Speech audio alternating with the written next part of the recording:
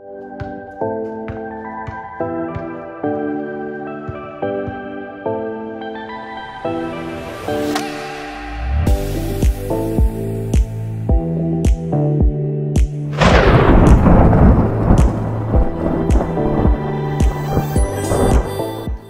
up, everybody?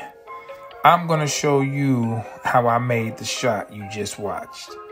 So, what I use is a program called Videoleap. As you can see right here.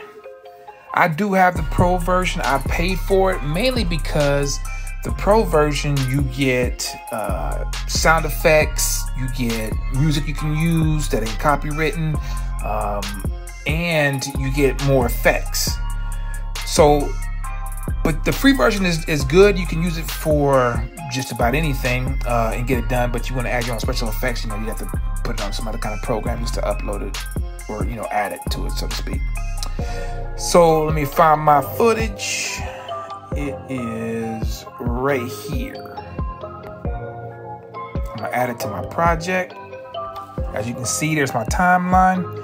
Now, I'm going to skip ahead because I did put up quite a few bricks before I finally got the right shot. And it is right here. Let me see. I'll go ahead and play it. Turn the volume up. All right. I knew that one was good, right? You see me dancing right before it even went in. I just felt it. That was a great shot. So, I'm gonna scroll back to where, where I want to start it off at. I say I want to start it off right here, right? Because I that's where I grab the ball. I'm gonna go ahead and I'm gonna scroll over here. I'm gonna click split, so it splits the clip, right? I can click on this one and just straight scroll over here and delete it. So that way I just have the clip I want, right? It starts where I wanted it, boom, where I'm grabbing the ball from that previous brick. And I'm gonna, you know, do a little behind the back, stroll on over here. Now here's where it gets important. All right. Actually, what I'm gonna go ahead and do is I'm gonna go ahead and duplicate this this uh the scene, right? Reason why I'm gonna duplicate it is because I'm gonna go ahead and pull it up here, put it in the in the mixer part of this program. The mixer is where you can double up on scenes.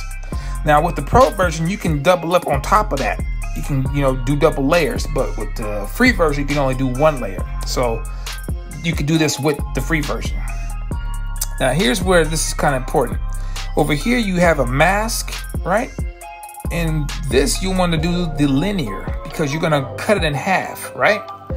So what I'm going to do is I'm to put this at an angle scroll it over here by where I'm going to be shooting and I'll show you why.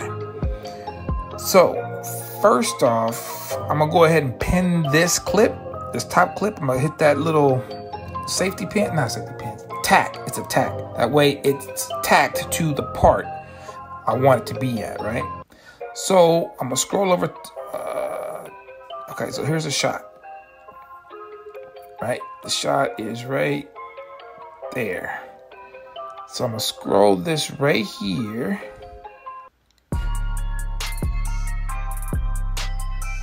And I'm gonna do is I'm gonna go ahead and I'm going to scroll back.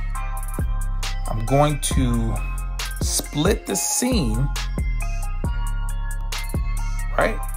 Click on that part. See, it's tacked right there. That's why I want it. I'm gonna get rid of this scene because I don't need it anymore. Boom, it's gone, right? So here's where it's gonna get fun. I am going to make this part go in slow-mo. Say we'll scroll it back to about 30. See how that looks.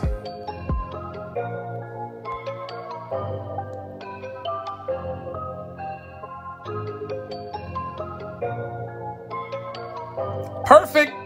Oh, that is dope. Got it on the first try. Oh, okay. Now you see that? You see how, see how it cuts me off though when I'm walking back towards the camera? I'll show you how to fix that. I'm gonna scroll it back to about to about 20. Let's see how slow mo that that is right there.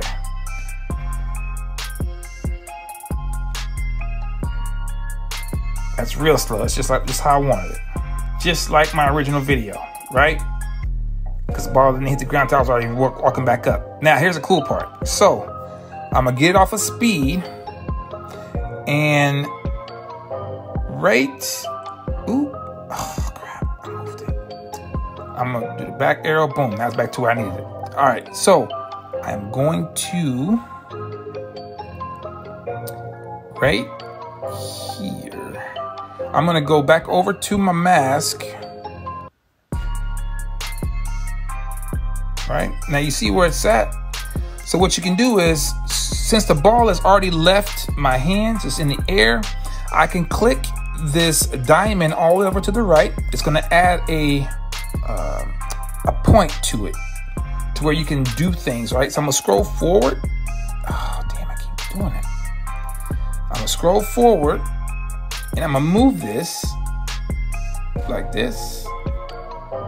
Scroll forward a little more move it over here. And then that's it. I really don't need it anymore, right? Actually, yeah, I do, because my fingers, you see my fingers? I'm gonna go ahead and move it all the way over here. Because now it don't even really matter if it's in the frame or not. Boom. Okay. And then right here, I'm gonna go ahead and go back. I'm gonna split the clip. Boom. And then click this and delete it. I don't need it anymore. I don't need the end of that. Right? So now let's go ahead and watch it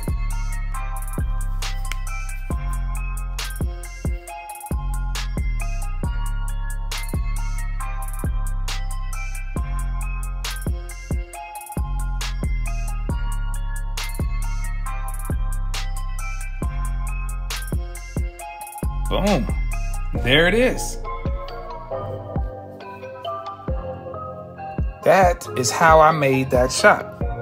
If you have any questions or concerns or some tips for me to make it look even better, you know what I'm saying? I'm, I'm always open for suggestions and all that good stuff. Oh, what you can also do is, so like what I did was, like I said, I have the pro version. So I went to audio, right? I found some music and a sound effect to uh, since I said I made it rain because that shot was perfect. You see, it just went straight through. I added a little thunder sound effect to it to make it sound like you know what I'm saying like thunderstruck when I when I hit that bucket. And um, yeah, that's it. That's how you do it. And then you do is you hit that export and you pick your frame rate, I usually do 720 and 60. 60, as it says, it gives you smoother animations.